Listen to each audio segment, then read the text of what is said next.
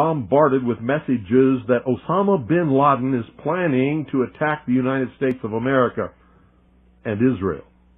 And I'm telling you, be prepared for a major attack. But it won't be Osama bin Laden.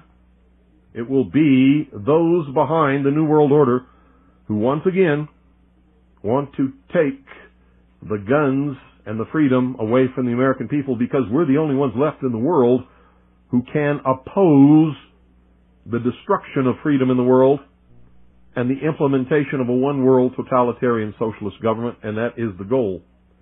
Now, how stupid can you be to believe that Timothy McVeigh was the mastermind of the destruction of the Alfred P. Murrah Federal Building in Oklahoma City, and just he and Terry Nichols, who appears to be somewhat of a fool, plotted, planned, obtained all the different materials, put together a bomb of such force that it brought down what we call in the military a hard target, a target held up by steel reinforced concrete columns, and he had no help.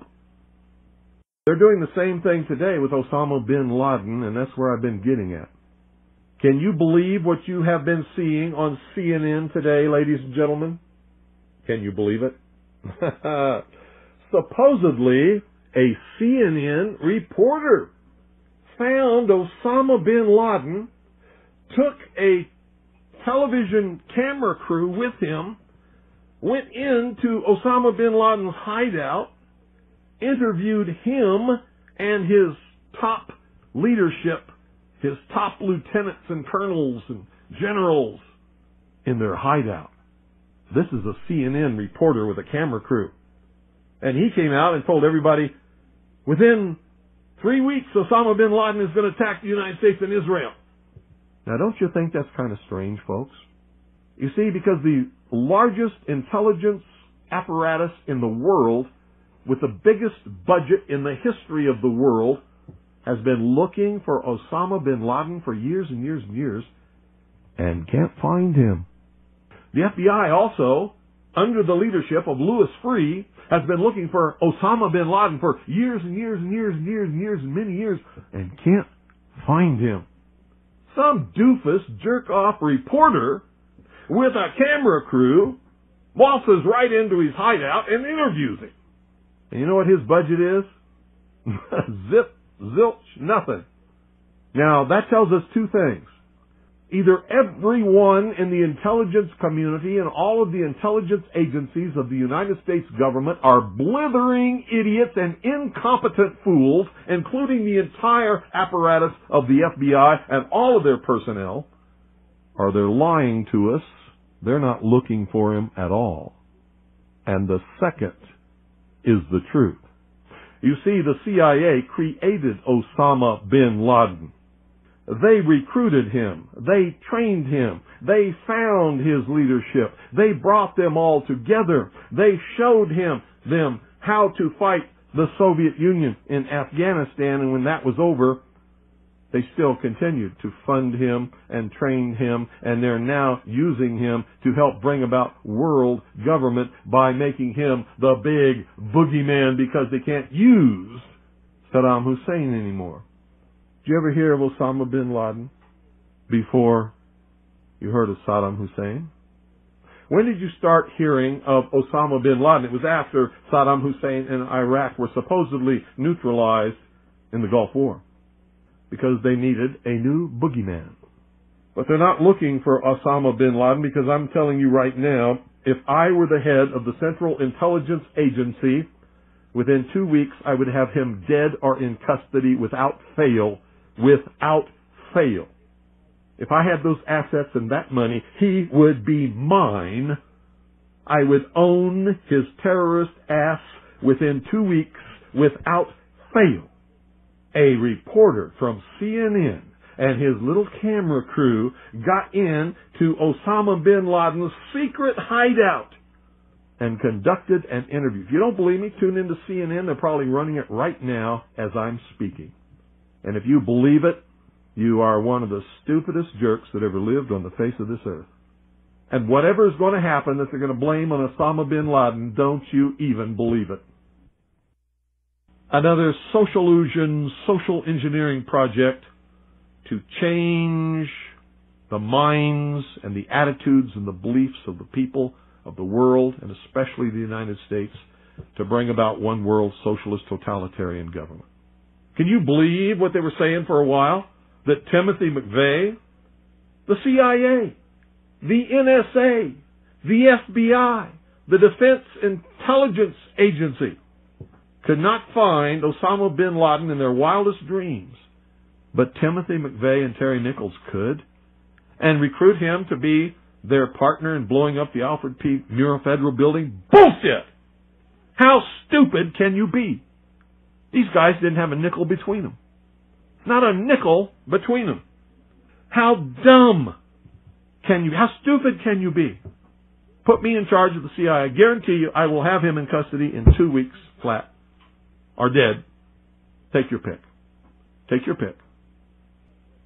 Give me that budget, those resources, those personnel. I guarantee you he will be mine in two weeks. And you know what? If I had a few loyal, good Americans who were willing to donate enough money, certainly not even a drop in the bucket compared to what they really have in these intelligence agencies to really go after him, I could still have him in two weeks. Piece of cake. So why, why do all these fools believe this charade? That a CNN reporter and his little camera crew can do what all the money and all the assets and all the eavesdropping and all the intelligence and all the satellites and all the undercover operatives in the world can never do. It's because they're not trying. They don't want to. Osama bin Laden is their creation and he is serving them well. When in hell are all you people going to wake up? Are you kidding me? I mean, is this some kind of incredible joke people are so stupid they fall for this? Do you know how much money the CIA and the National Security Agency and the FBI has at its disposal each year? Do you know how many agents they have that they can devote to this? Do you realize the technology that they have to be able to eavesdrop on every single conversation in the world? No matter how it's transmitted? And pinpoint the location of every one of those transmissions? And they can't find Osama bin Laden, but some CNN reporter he just waltzes right on in there with his camera crew, just like he knew where they were all the time. Bet you it was the CIA that sent him there. I told him where he was. And of course they know where he is because they created him. They're the ones that are funding him and backing him and helping him to create their new utopian world. Hitler could not have ever come to power, absolute power in Germany, without the Reichstag fire. Hitler was a socialist. He understood social illusion. He understood social engineering. He knew how to get the support of the German people, and he did it by burning down the Reichstag. The Reichstag was, well, in our country, it would be the Capitol building that contains the Senate and the House of Representatives. So if somebody were to go and burn down the Capitol building today, they would use that as an excuse, as Hitler did, to round up all of the enemies of the New World Order, which would be me and most of you listening, and throw us into prison or execute us, declare martial law, and come to absolute and total power in this country. I wonder what Osama bin Laden's targets are supposed to be. And if they don't you know, if this doesn't materialize in the next two or three weeks, it will eventually materialize because they haven't succeeded in getting the guns out of the hands of the American people, nor have they succeeded in taking our freedoms away. In fact, there's been a great awakening in this country and a, and a big backlash against these Marxist, communist, puke-faced, lying, subversive, Nazi, jackbooted Gestapo thugs that is gaining momentum. And so I can tell you with a certainty, they must do something terrible in order to stop this backlash and regain the sympathy of the mass herds of sheeple out there. And I'm telling you, one of the things that will give us the moral high grain, ground and uh, and will begin civil war is the day that they begin declaring martial law across this country, taking guns out of the hands of the American people and rounding up American patriots. The war will start on that day. On that day. And there will be a war in this country, a civil war to restore, not a revolution, but a civil war to restore constitutional Republican government. Now, at the same time that that's going on, communist and Marxist underground forces will begin or try to begin a revolution in order to institute a Marxist, socialist, or communist government as a result of the Civil War.